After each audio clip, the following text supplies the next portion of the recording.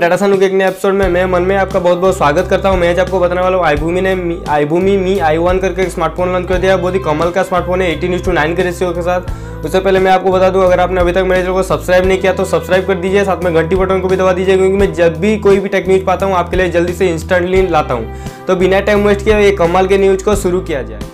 पहले फ्रेंड्स हम आईभूमि के आई वन के डिस्प्ले के बारे में बात करें तो यहाँ पर आपको मिलता है 5.45 इंच का 640 पिक्सल वाला डिस्प्ले यहाँ पर आपको 720p का डिस्प्ले नहीं मिलता है, ये फुल लेमिनेटर वाला डिस्प्ले मिलता है। यहाँ पर आपको स्क्रीन में गजब की बात यह है कि यहाँ पर आपको मिलता है एटीन इंच टू नाइन का डिस्प्ले जो प्रोसेसर के बारे में बात करूँ तो यहाँ पर आपको मीडिया टेक का सिक्स सेवन थ्री सेवन वाला प्रोसेसर मिलता है। प्राइस के बारे में बात करूँ तो आपको दो जी बी और सोलह जी बी मॉडल वाला प्राइस आपको पाँच हज़ार नौ सौ निन्यानवे रुपये और तीन जी बी और थर्टी टू जी बी वाला मॉडल आपको मिलता है सिक्स थाउज़ेंड ट्रिपल नाइन में छः हज़ार नौ सौ निन्यानवे रुपये में। यहाँ पर आपको फिंगरप्रिंट सेंसर भी मिलता है, डिज़ाइन बहुत ही कमल का मिलता है एटीन इंस टू नाइन के डिस्प्ले के साथ ये फ़ोन आता है। 5.45 इंच का डिस्प्ले और 18 इस टू नाइन का अभी जो ट्रेंडिंग में चल रहा है 18 इस टू नाइन का इसमें आपको डिस्प्ले मिलता है। मतलब आपको डिस्प्ले बहुत ही गजब का होने वाला है। आप सोच कर देखिए, जो इनफोकस का विजन थ्री स्मार्टफ़ोन था, यहाँ पर आपको 18 इस टू नाइन का डिस्प्ले मिल रहा था 7000 के अंदर। लेकिन यहाँ पर आपको हाईभूमि ने 6000 के अंदर आपको 18 इस टू नाइन का डिस्प्ले प्रोवाइड कर रहा है। आपको कैमरे के बारे में बात करूँ तो यहाँ पर आपको डुअल रियर कैमरा मिलता है थर्टीन प्लस टू मेगा का डुअल रियर कैमरा